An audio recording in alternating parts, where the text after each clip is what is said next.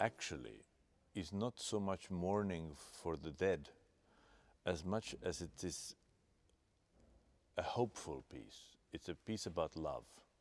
It's a piece about something spiritual that has nothing to do strictly with a kind of traditional understanding of, of what Requiem is, which is a mass for the dead.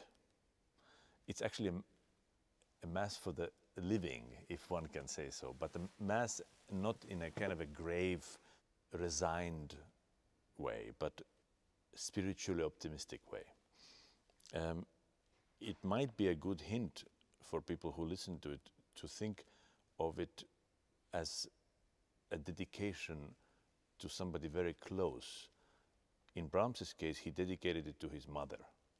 That already shows you the type of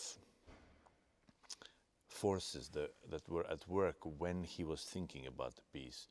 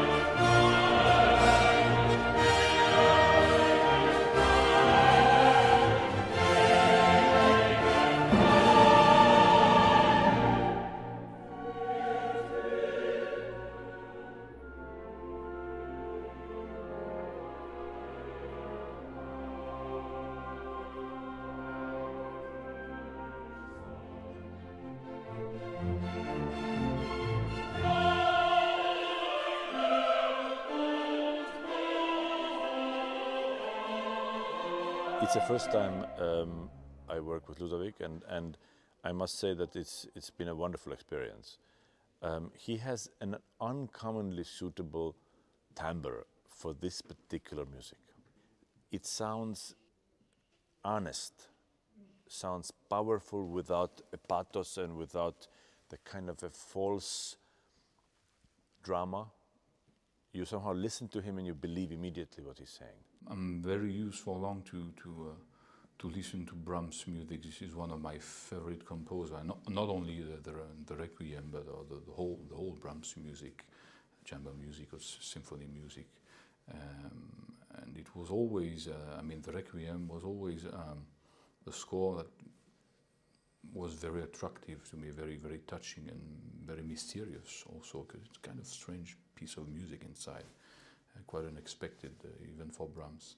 For the part I have to sing, uh, this is requiring um, a certain color of the voice to be able to express the drama and the deepness of the, of the, the, words you are speaking and sometimes spitting, you know. and um, I just began to, to sing uh, this, uh, this beautiful score and beautiful music 15 days ago in Paris with Radio France, and uh, it's it's quite short actually. But fortunately, because I was hearing it uh, for long at home on CDs and many many versions, uh, I got um, I got a certain habit, you know, of, of this atmosphere, and um, probably it was helping me very much to to to feel um, pretty quick uh, able to to fit uh, the, the whole atmosphere of the piece.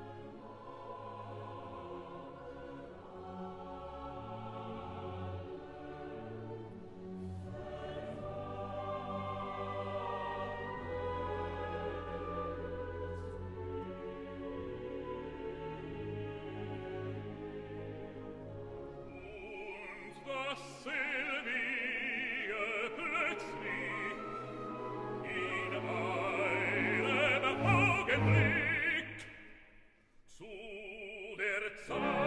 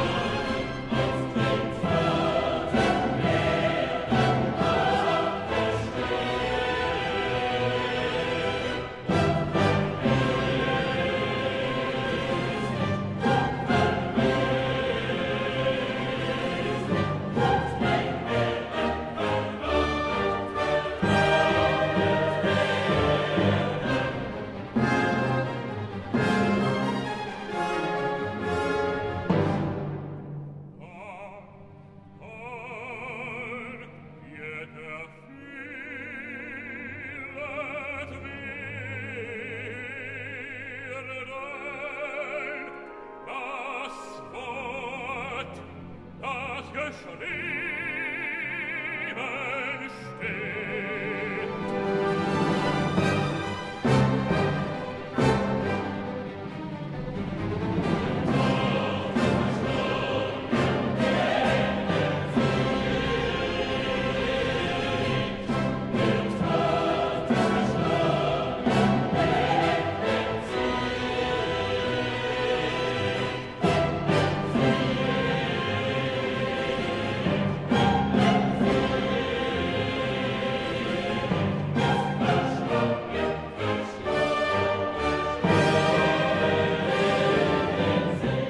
Something very, very basic that you feel when you conduct a German orchestra, a good German orchestra.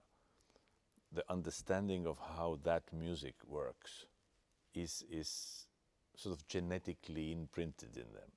When we were rehearsing without a chorus, a lot of orchestra members, I could see their mouths saying the words that the chorus would say because they know this music from from beginning of their lives. They all have probably sung it in a youth choruses. They have probably had experiences where they have learned it themselves.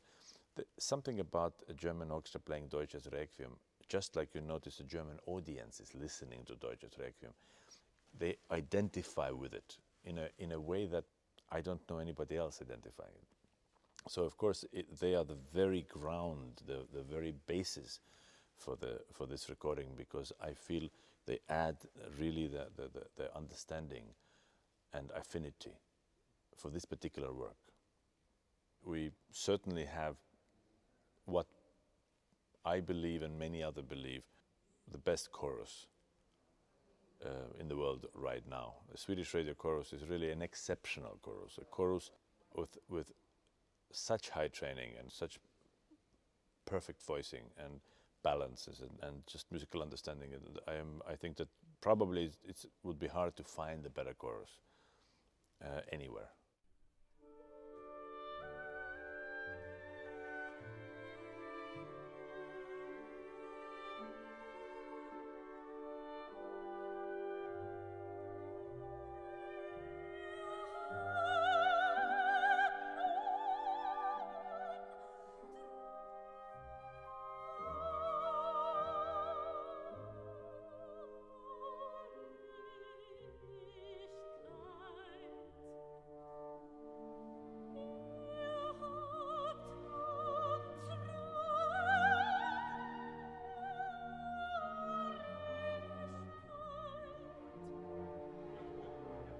There is nothing one can really say about Natalie Dessay because she's such an expressive and individual artist.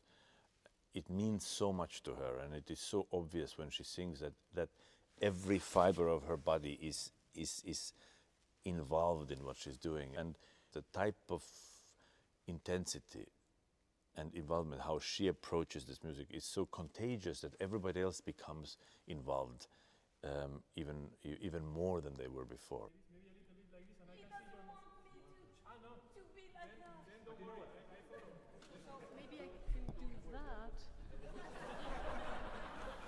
I find working with her just a joy, pure joy. It's the second project we have done together. The Mahler uh, 2 uh, was the first one, and it's also coming out, I think, in Virgin soon.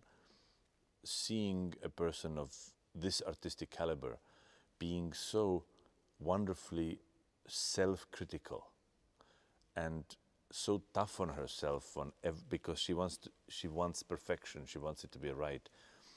I identify with people like that. I feel close to people who are not happy with themselves all the time but constantly know that there is always a better way of doing things. And, and she's a good example of how she's always searching